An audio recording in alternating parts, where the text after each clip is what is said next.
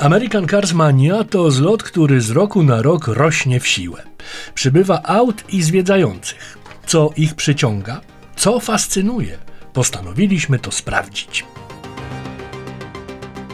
W zeszłym roku przez 3 dni było u nas 1001 pojazdów plus jakiś tam odsetek mały, których wpuściliśmy. Natomiast już dzisiaj, po pierwszym dniu, po piątku, mamy zarejestrowanych prawie 1300 amerykańskich maszyn. To naprawdę wynik godny szacunku. Co najmniej tyle ciężarówek przybywa każdego roku na Master Trucka. Ale główny powód tej frekwencji jest nieco inny. Tylko dlatego, że coraz więcej ludzi kocha amerykańską motoryzację, a szczególnie tą, która zanika.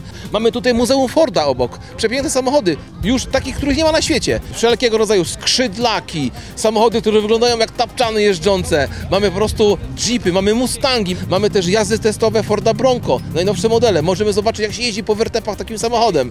Krążowniki szos, pojazdy wyścigowe, terenowe, wojskowe, do wyboru, do koloru.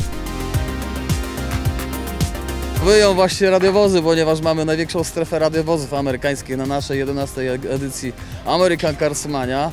E, tysiące ludzi, ponad 1300 samochodów zgłoszonych, rekord. Mamy rekord, pobiliśmy rekord i to grubo, ale też trzeba powiedzieć, że pierwszy raz zjechały się do nas ciężarówki amerykańskie. Oprócz pojazdów, organizatorzy przygotowali szereg atrakcji, w tym jedną szczególną.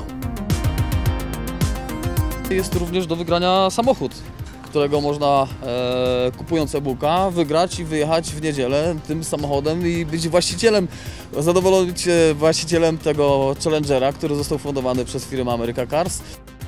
To się chłopaki postarali. Ale to nie koniec atrakcji. Kolejna robi kawał dobrej roboty.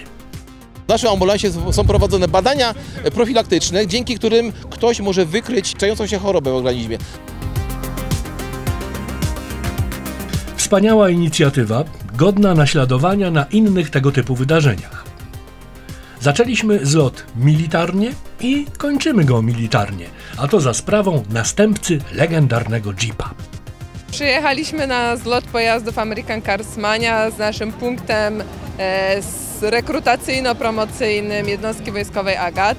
E, Wszyscy odwiedzający mają możliwość e, zapoznać się z uzbrojeniem, wyposażeniem Agatu.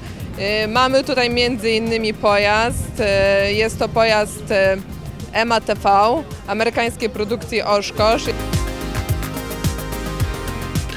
Oshkosh to obok Maca najbardziej trwała ciężarówka w USA. Nic dziwnego, że trafiła na pole walki.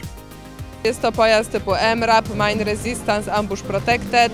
Jest to pojazd doskonale wyposażony, uzbrojony.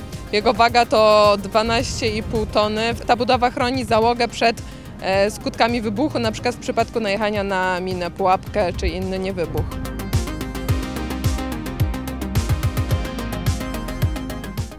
Ciekawe, kiedy takie pojazdy staną się poszukiwanymi, wręcz kultowymi egzemplarzami o amerykańskim rodowodzie.